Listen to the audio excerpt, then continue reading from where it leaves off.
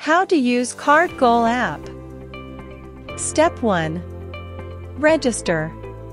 Enter your email address. Click Send to get verification code. Check the code in your mailbox.